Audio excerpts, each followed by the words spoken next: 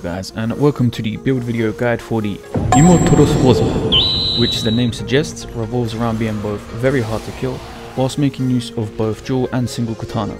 There is a lot I want to get through so if at any point you get impatient and want to skip ahead I will provide timestamps in the description so that you can go ahead and do that. I want to start off by saying during my time playing Nioh and doing my research when theory crafting I obviously spent a lot of time on forums and watching other YouTubers and I think a lot of credit deserves to go to where people like Project War and Barbarian for essentially inspiring the template for a lot of my builds, including this one, so shout out to those guys. But obviously I've spent countless hours optimizing and tuning these builds to my specific playstyle, which is what I want to share with you guys. Okay, so to start things off, I want to talk about what this build is all about and who it's aimed for. And to be honest, due to the nature of this build, it would actually be easier to start off by saying what this build isn't and who it isn't for as really I can only think of about two things that this build isn't. One of those things being it's a B agility build, so if you want to play a super lightweight A agility glass cannon ninja build, this isn't going to be that because you will be wearing heavy armor. And the second thing this build isn't is a one-shot living weapon build designed for like, you know, farming floor 900 plus in Abyss. This build is primarily designed to function across the board outside of living weapon. That said, you can still farm floor 900 plus in Abyss with this build and it's still effective within living weapon. It's just not going to perform as well as a build designed for that specific purpose. The first thing to know about this build is it is incredibly tanky. In fact, it was almost too tanky in its original state, which is why I adapted it to incorporate a bit more emphasis on damage output, as before I literally could not die, but I didn't feel that sense of satisfaction of being able to like near one shot high level enemies and bosses like I can now. So what I have now is kind of a hybrid between pure elemental damage reduction, pure skill damage output, and then in the middle we've got like very good damage reduction and very good general damage output. Everything you see in the video is on way of the Nioh difficulty and my character is max level and the gear powered up from the highest floors in the abyss etc However, for those of you who are mid-level and don't have access to that kind of power, I will still show you ways you can tailor it to your level. This build mostly makes use of skill-based attacks and parries. There's little need to stance dance with this build as you're pretty much sitting in high stance on the dual katana, making use of windstorm and creating opportunities to execute your sign of the cross skill. Same goes for the single katana, you'll primarily be sitting in mid stance this time to make use of your parries and creating opportunities to execute your Iai quick draw skill. So we'll start with the gear, then we'll go over the stats and stuff afterwards, so don't worry about that stuff just yet. For this or any advanced build you will obviously be needing an accessory with a minus 1 to set bonus requirements. Starting with our weapons, we've got our dual and single katana. Now what's important to note here is I use my dual katanas primarily for yokai and tougher bosses. This is also the general weapon I use for running around in the world of Nioh. The single katana, however, is very specifically for human enemies and is focused around parrying and doing damage once again to humans specifically. So in regard to their set bonuses, the dual katanas aren't tied to anything else. You can take what dual katanas you want. I use these ones simply because they're the most powerful ones that I have and the stats on them are the ones that I need, which I'll get into later. However, on the single katana, I'm running with a 4-piece of the Oyamatsumi's Grace, which is also coming from my two ranged weapons, and this is for the 4-piece bonus that is close combat damage. Next we have 4 pieces of Tatenashi, which provides us with a whole host of damage reduction, including both direct damage, uh, but more importantly elemental damage reduction, and also offers a small damage increase for equipment weight and as I said earlier we do bring this build up to a B agility rating. For the available piece I'm running with a master swordsman chest armor piece for two reasons one it gives us a decent amount of skill ki reduction which is one of the best bonuses I can see coming from a two set bonus and it also boosts the aggressiveness of the playstyle especially given that this is a heavy armor build. Speaking of which this set is another heavy armor piece which might seem strange given the earlier mention of equipment weight damage bonus, but there is a reason full heavy armor benefits this which we'll get into later. Apart from the grace, the actual ranged weapons themselves are optional, but we'll go over those as well as the accessories in the stats section of the video, uh, which actually we'll just move on to now. So on the dual katana, the stats I'd say you have to have are familiarity damage, A+, plus, sign of the cross skill damage, change to attack for either skill or heart, and you will want either skill damage like I have, or close combat damage. Either is fine, but ideally you will want to pick whichever one you have less of before applying this stat. So without this weapon, let's say you have 30% skill damage at base, and let's say you have 20% close combat damage at base, in that situation you'd want to take close combat damage on your weapon because you would have had less of it at base, so you're less likely to suffer from diminishing returns when you stick more of it on. So basically if you go too high with a certain stat, you're going to hit a point where you start receiving less and less benefit from it. Uh, that's called diminishing returns. So try and pick up the one you're most in need of. In my case they were both roughly equal, so I chose skill damage just because I was lucky enough to find a weapon that had 20% uh, skill damage inheritable, so I managed to just swap that over to this one. The optional rolls here are Pierce Guard uh, and Weaken melee weapons. It might seem weird that um, I have Pierce Guard on this weapon considering I mostly use dual katana just for killing yokai and stuff, whereas my single katana is the one that's used for killing uh, humans, and obviously this perk is only really useful against humanoids. But with my single katana I'm rarely actually trying to bypass guard, I'm mostly using it to parry, whereas on here sometimes if I'm feeling lazy I can stay in a high stance with the dual katana and just smash my way through guarding enemies and they will die, especially um, when using another little trick regarding spirit guardians, which I'll explain later. But this roll is optional and somewhat less optional in terms of what this is about, but it's still up to you, is the weaken melee weapons. Uh, when spamming Windstorm on an enemy, in fact not even spamming, like if you just hit it once, almost every time it's going to apply this debuff and getting counter hit whilst this enemy has this debuff on them is significantly going to reduce the damage that you're going to receive from that hit. This is by far the best defensive stat available on a weapon, so I highly recommend it. One additional note, I don't have an element on my weapon as it's a complete waste of a slot considering you can just manually apply any element you want before a major engagement. So for the single katana, I've got human close combat damage as I only use this versus humans. If you don't have access to human damage specifically, obviously you can just go with skill damage or regular close combat damage in this slot. Then the must-haves are familiarity damage, skill damage for Iai quick draw, and change to attack either skill or heart. Optional rolls here are parry and skill break. Personally taking parry is a no-brainer for me because I'm always parrying with this weapon, it's the ability I use the most, and skill break because it's the second most used action on my katana as both Iai quick draw and an ability called flowing shadow which are both skills. So having skill break on there just gives a little boost to me being able to bypass defenses when we're doing what I'll be doing anyway with this weapon. Now for ranged weapons you can have whatever you want. Like I said these particular weapons were chosen simply for the 4 piece bonus on Oyamatsumi's Grace. Just make sure you've got um, equipment lightness damage bonus on both of them that's all you need on these weapons in terms of the meta stat. That would just give a small blanket buff, nothing you really need to worry about in terms of optimizing. It does synergize with the various dynamics going on within the build in terms of us wearing heavy armor and moving up to B agility etc. But I don't want this video to become too convoluted so just get equipment lightness damage on both of your ranged weapons and just do what you want with the rest. So in this slot here I've just got this, yeah it's whatever. However this, and it is true that ranged weapons aren't essential to this build but this baby right here is very useful. So I'll just go over this in detail as you might want to mimic it if I explain a little bit how I use it. Not everybody likes cannons, they're slow, uh, like you can't strafe with them and stuff like that, but anyone who uses them know just how beastly they can be, like they do a hell of a lot of damage, but more importantly they do a lot of ki damage and they stagger, all that good stuff. But when you've got the rolls that I've got here, okay so apart from the standard must-have stat here that we've covered, we've got no guard break, this alone has carried me through certain boss fights where I've been able to just bunker down under fire and just barrage the boss in the face, not only doing significant damage but allowing yourself to line up those potential auto knockdown headshots, drain their ki, which results in an enemy disable. And then if you've got pierce guard and Ki damage, if they even try and block, it's only going to last so long before they're either dead or they're ki drained. And the only risk to doing this is if they either decide to rush you, which means they drop their guard allowing you to time up that headshot, or they pelt you with range damage. And with this build, you've got reduced firearms damage, and you're practically immune to elemental damage, which we'll get into later. So they won't win in a range battle either. Really give this a try if you can, it's so fun. I even managed to cheese Nobunaga on a Abyss Floor 996 with pretty much only using the cannon. It's a lot of fun. Anyway, sorry, moving on to the armor pieces. The must-haves on Helm are attack, which by the way you must have on every single piece of armor. So I'm not going to mention this for every piece, just know that you have to have it on everything. And on the helm you also want weight reduction, as we need to get that B agility rating, otherwise you're just going to be too cumbersome.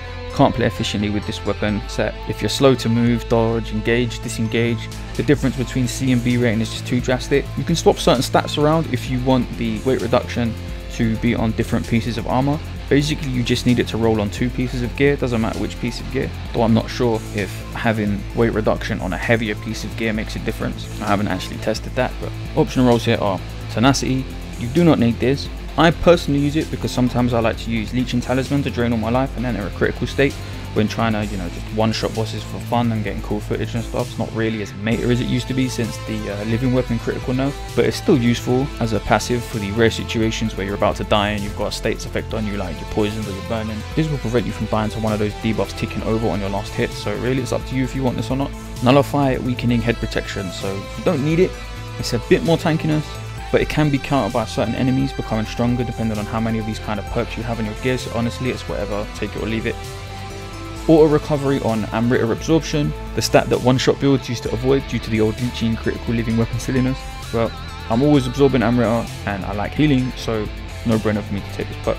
The stats on my chest piece, I would recommend you take everything that I have here, The most optional would probably be the life increase, but the rest here are pretty fundamental when it comes to damage mitigation. As with damage, you have both your raw defense and situational defense, and there are lots of modifiers in this game that change the way you earn or lose stats under certain conditions. It would be wise to use as many modifiers to your advantage as possible, so that's things like increased defense when you're at critical health state, increased defense when you've got a status element on you, and same thing goes for the attack modifiers, you're always going to be in one or more of these situations at any given time, so it would make sense for you to be benefiting from being in them. Now, received elemental attack damage.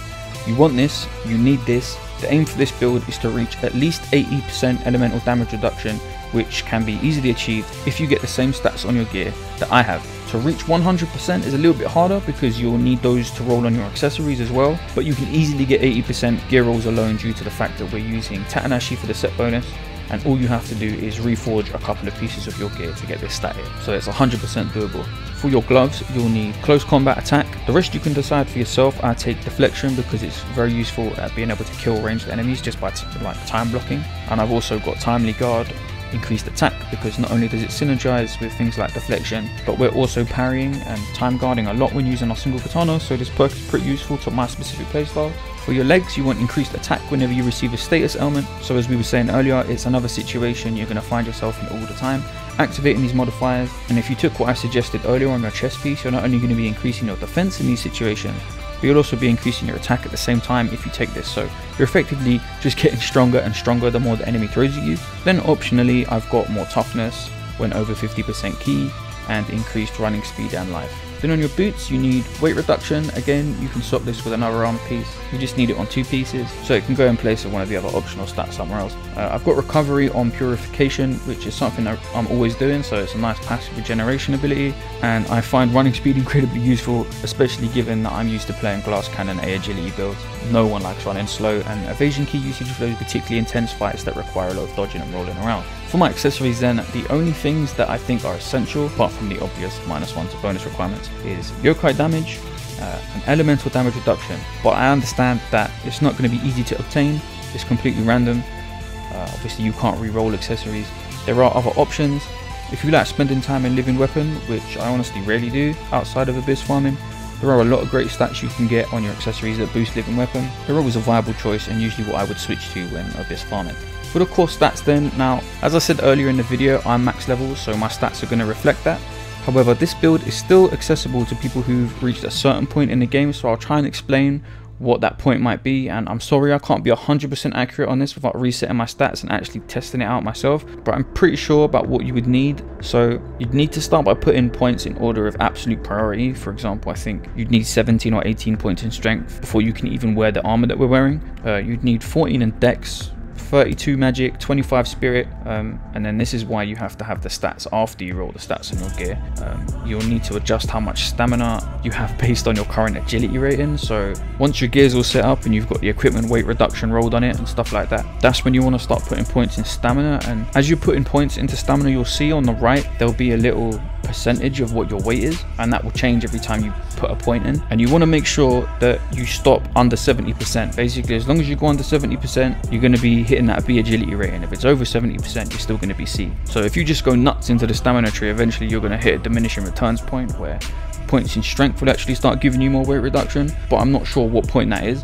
Uh, I know that it's pretty late into the tree though you know where you've got to have a lot of points to spend so if you wanted to be absolutely optimal, you could just put 57 or so points in strength and 15 in stamina. That way you're increasing a bit of damage as well. But if you wanted to just be uh, simple and easy, I would just start putting points into stamina, watching the equipment weight percentage on the right, and stopping just when you see it getting close to under 70%, and then you can experiment with putting more points in strength and stuff. But yeah, just stop once you're under 70%. Then personally, I would go for 99 points in skill first, and just use your dual swords until you can start dumping into heart and obviously at some point you want to put points into heart because that's what's going to give you your ki and enable to use your single katana efficiently as well. For the clan house it's entirely optional but i'm in todo not really for the increased defense but more so for the attack boost from heavy armor. Spirit guardians absolutely 100% best in slot main guardian is going to be kato. It boosts both close combat attack and skill damage And your second Guardian is where it gets fun because it will all depend entirely around what you're doing in the game. So the best general second Guardian in my opinion is Ayakomori as you'll be getting a raw 9% damage increase whenever you hit an enemy from behind which you should be doing a lot of the time by default anyway when moving around the back to avoid direct attacks. If you know you're going to be fighting humans and this is my little secret to absolutely destroying bosses like Ryu Hayabusa and why I also have Pierce Guard on my dual swords. So for certain enemies like him I don't actually use my single katana. I'll stay on the dual katanas and with the pierce guard roll on them, switch Ayakomori out for this centipede guardian and you're going to get another 14% damage bypass on guarding. And I'm telling you, you can just windstorm in high stance on dual katana and absolutely destroy enemies who block like without even trying. Just spin to win. It's not pretty but it's incredibly efficient and ideal for farming certain enemies in the game. If you like doing the uh, leeching talisman one shot stuff, which is what you saw me do on Maria in the montage at the very beginning, basically just take Hinazumi, the little mouse thing, pop leeching to get into a critical state, apply your debuffs to the enemy, get behind them, hit them with your hardest hitting ability, and Hinazumi should boost the damage of that by around 11%, which is what allows you to do those dirty one-shots on bosses that you always see in videos. It's pretty cool, but honestly, it's not very practical for general play. Moving on to weapon abilities then, for a single katana, all you need is Sword of Salvation for making the parries easier, that's the Mystic Art by the way, and the parries themselves that you want are Backwave 2 and Haze 2, and out of those two you want to only be actively trying to use haze. It's the most reliable. It can be used on most enemies. And backwave is something that you can get to try and trigger by accident a lot of the time just by blocking reactionary at the last second then pressing block again to activate the backwave i'll get into this stuff more in my next video. Um, you also want to pick up the Flowing Shadow ability and obviously iai quick draw together these are the only things you need to be using with your katana staying in mid stance, haze parrying, setting up the Iai quick draw and using flowing shadow to damage aggressive targets that you're unlikely to be able to parry in that moment. For dual katanas you want um, firm resolve. This is pretty fundamental to the build in terms of bolstering your defensiveness, especially when you're applying melee weapon weakness if you took that on your dual katanas. You obviously need sign of the cross and you'll want windstorm. Pretty much the same situation here with the single katana, except this time you stay in high stance, windstorm is your main DPS until you can set up sign of the cross and ideally combo them or try and chain your sign of the cross several times. This should kill most enemies in the game if you manage to pull it off cleanly. Um, for ninjutsu, you want the Enlightenment Mystic Art. Uh, I suggest picking up Quick Change Scroll to help you survive any engagements that might kill you. Uh, you generally want to be carrying a Tiger Running Scroll to speed around very quickly.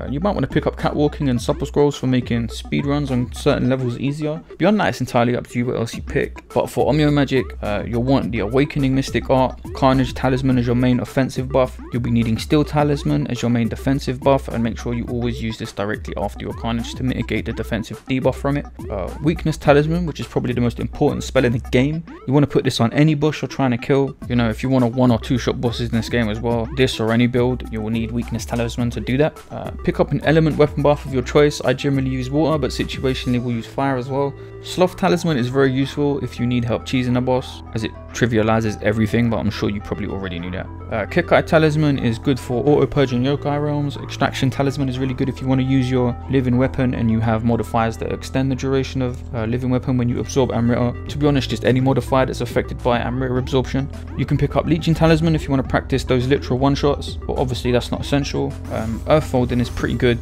to make quick escapes back to the shrine. I use that a lot when um, abyss farming like say you die and then you want to reset so just run in and you grab your spirit guardian off the floor and then pop earth folding you'll go straight back to the shrine and you can reset. It's pretty good.